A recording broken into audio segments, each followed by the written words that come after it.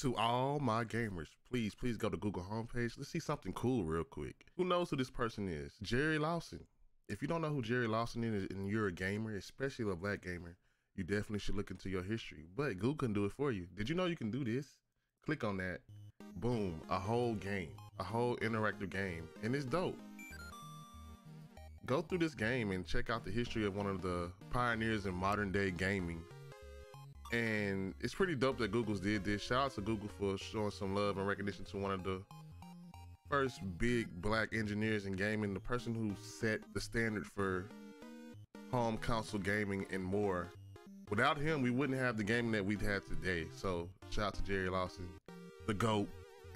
Y'all go check this out. There's other games on here as well that you can come and play, which is kind of cool on the um, Google home screen. Check it out. Also, happy birthday to the GOAT.